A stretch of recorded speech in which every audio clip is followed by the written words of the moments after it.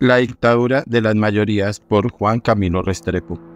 El actual gobierno parece disfrutar y a menudo abusar con gran complacencia de las mayorías accionarias de que dispone en algunas empresas estatales. El caso más evidente es el de Ecopetrol, en donde, como se recuerda, el arrogante gobierno actual sacó descomedidamente de la Junta al doctor Carlos Gustavo Cano, sin ningún otro argumento de que sus mayorías se los permitían. Resulta, sin embargo, que la ley que rige los destinos de Ecopetrol no permiten este abuso de las mayorías. La ley 1118 de 2006 convirtió a Ecopetrol en una sociedad de economía mixta con un régimen distinto al que el Código de Comercio establece para las sociedades comerciales corrientes. El Estado quedó con el 88,5% del capital de Ecopetrol, pero el ejercicio de esa mayoría accionaria quedó sometida a lo que el artículo 6 de la Ley 1118 dispone.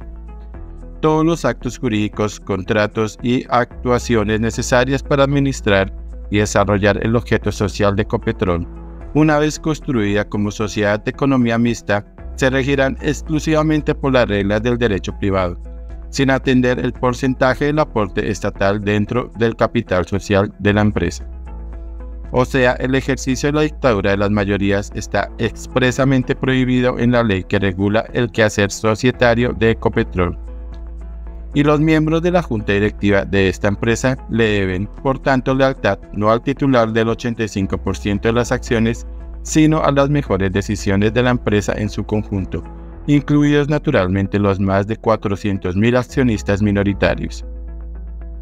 Esta semana tuvo lugar un hecho que no puede pasar desapercibido. Varios de los integrantes del comité de gobierno de Ecopetrol devolvieron la plancha postulada para conformar la Junta al Ministerio de Hacienda aduciendo entre otras razones que no es adecuada ni conveniente para la compañía.